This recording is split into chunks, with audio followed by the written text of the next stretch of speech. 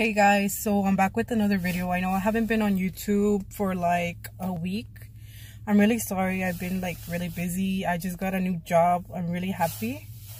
And I know I didn't finish part two of my other video. So today I'm thinking of finishing it. Right now I'm just waiting for my sister because we're to go to the store.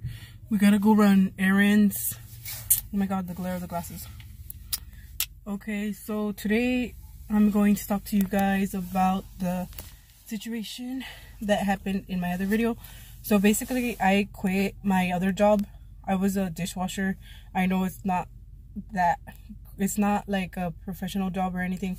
My manager would always tell me like that I didn't take my job serious and that it was a professional setting but i honestly don't know what's so professional about washing dishes i would wash like a stack of trays buckets everything it would be like a freaking mess and uh, honestly I, I didn't have a problem with the job. It was just like the people around me. I lasted there for like four years. And i got mad first when they told me i didn't i i got mad first because they told me i couldn't get my vacation pay. I was supposed to get like two weeks since I had been working for them for four years and they told me I couldn't get my two weeks paid off, paid vacation.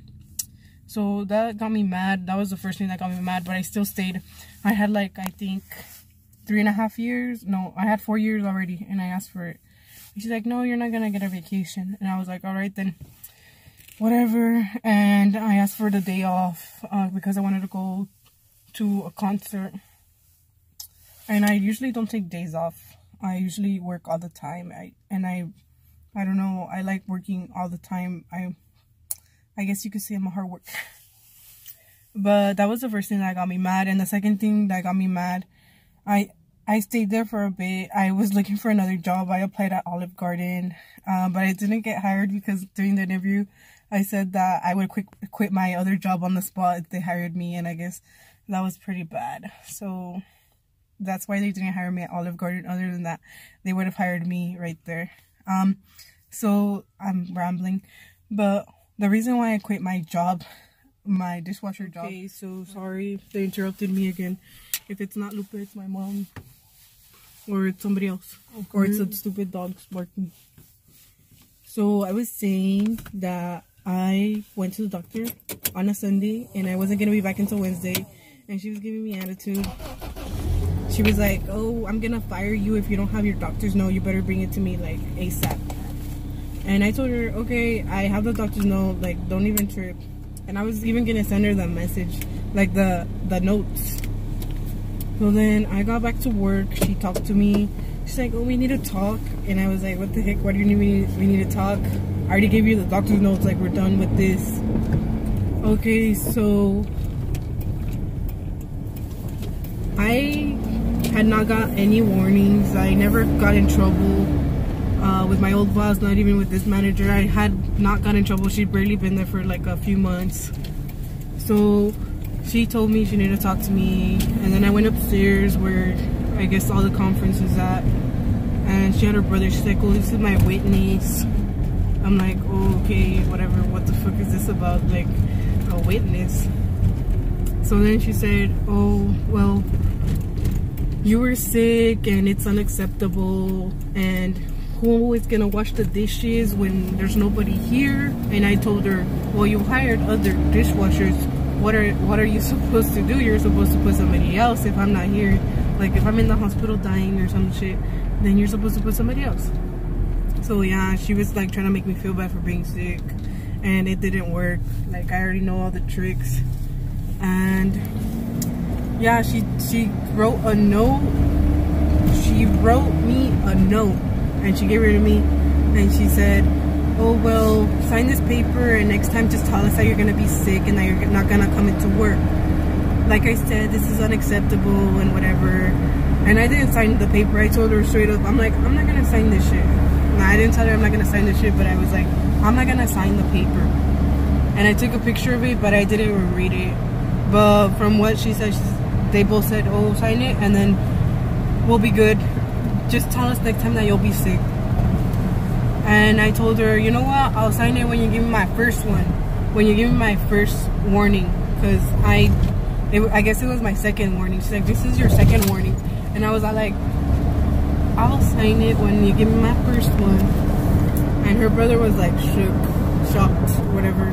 He was like pale because he didn't really know what was going on. And I told her, where's my first one?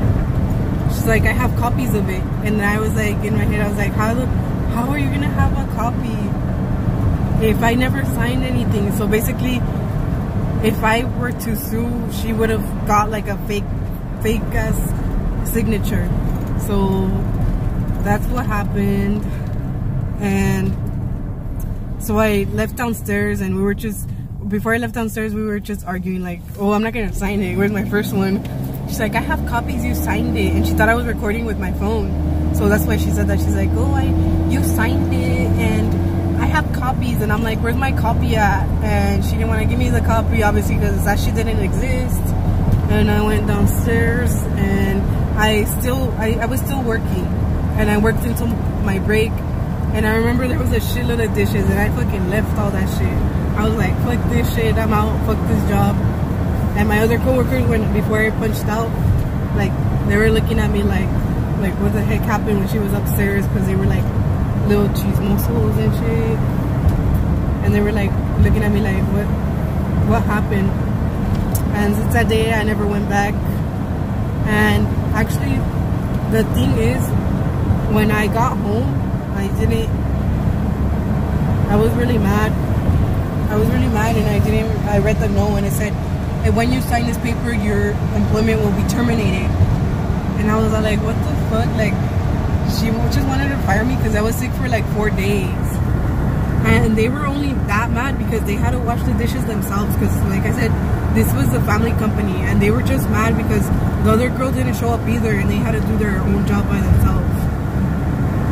Um, but yeah, that's what happened. That's why I quit. That's why I left, I guess.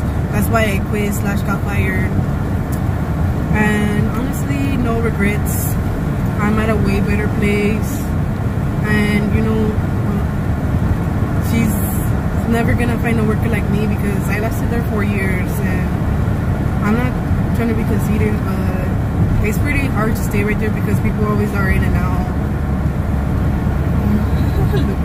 Your face. You're like yeah so i think that's it for this video. I'll see you guys in the next video. I'm probably gonna do a little vlog. Probably i don't know. But i'll see you guys in the next video